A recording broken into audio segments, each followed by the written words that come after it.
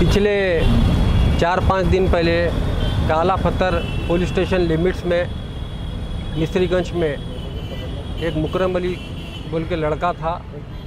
उनका मर्डर हुआ था। वो फैमिली के लोग कल दारुसलाम को आकर जनाब असदुद्दीन ओवैसी साहब से मुलाकात की।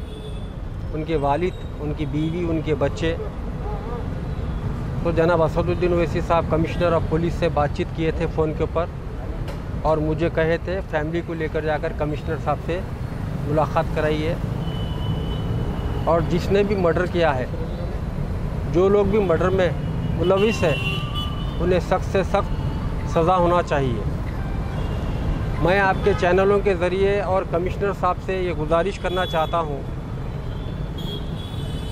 हैदराबाद शहर में हर चार दिन में, हर तीन दिन में, हर पाँच दिन में मर्डर हो रहा है। ये सिलसिला ख़त्म होना चाहिए। एग्ज़ाम्पल के तौर पर, बहादुरपुरा कॉन्सेंसी में पिछले तीन महीने के अंदर चार से पाँच मर्डर हो चुके हैं। मिस्रीगंज में एक मर्डर हुआ है मीरालम टैंक का एक मर्डर हुआ है, आखिल साहब के मदरसे का एक मर्डर हुआ था किशन बाग में एक मर्डर हुआ था। मेरी कॉन्सेंसी में खुद चार से पाँच मर्डर हो चुके हैं।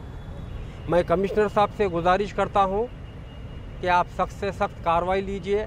जब तक पुलिस आयरन हैंड यूज़ नहीं करेंगी उन लोगों के ऊपर, ये सिलसिला चलते रहेगा।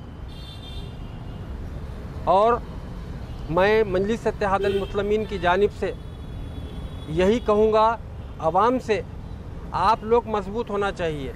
ये जो भी कर रहे हैं मर्डरा जवान जवान बच्चों को जो मार रहे हैं, आप इन लोगों को समाजी बैकआउट करिए। अपने महलों में रहने मत दीजिए। उनके कारोबार को उस महलों से उठा दीजिए। उनके महल्ले में उनका मूवमेंट ख़त्म कर दीजिए। किस तरीके से ये चीज़ ख़त्म होती है, देखिए आप। मजलिस मुसलमिन कभी भी बर्दाश्त नहीं करेगी जुल्म को। हम, ये कोई उम्र है, बारह साल का बच्चा ये। इतनी कम उम्र के अंदर ये बच्चे को यतीम किया गया है। अपने हाथों पर अपने वालिद की मौता को ले लेकर जाकर उस्मानिया के मार्चरी में डाला है।